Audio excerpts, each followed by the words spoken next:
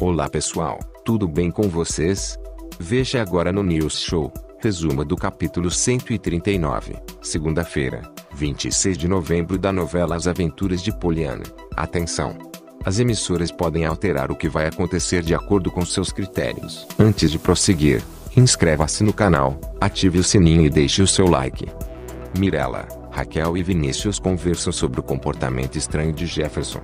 João está indeciso se volta para o Ceará com sua mãe ou fica em São Paulo. Poliana e pede para Deus o melhor para João e sua família. Marcelo fala para Glória que quer se oferecer para ser responsável por João. Sérgio e Nadine trabalham juntos na criação do novo jogo. Walt Disney provoca a Joana para ficar com ciúmes de Sérgio. Elo vai à casa de Luiz anunciar o resultado da prova de João.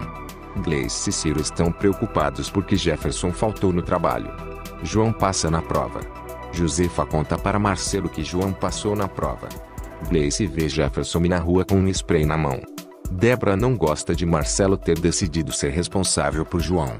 Sofia observa Yuri palestrando na reunião. Marcelo chega com Débora na casa de Luísa. Vinícius elogia Mirella.